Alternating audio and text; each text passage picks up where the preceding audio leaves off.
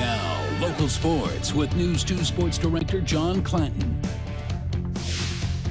Hello, Greater Nebraska. The fall sports season is underway, and the Hershey softball team at home opening the season taking on Cozad.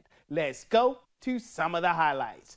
Now, folks, both starting pitchers had their A games most of this contest. Cozad's Madison Sayer getting the strikeout for the Haymakers. Also throwing the heat, Hershey starter Ellie Hampton getting the K to end the inning.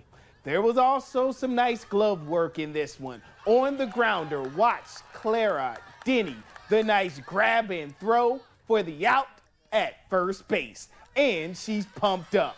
Fifth inning, tied at one, Cozad with the bases loaded for Kinley Armagost, and she draws the walk to score a run. Cozad takes the lead.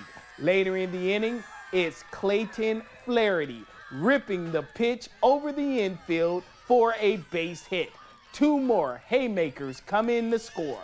In a well played game by both teams, it's Cozad going on to get the win 8 1 over Hershey tonight.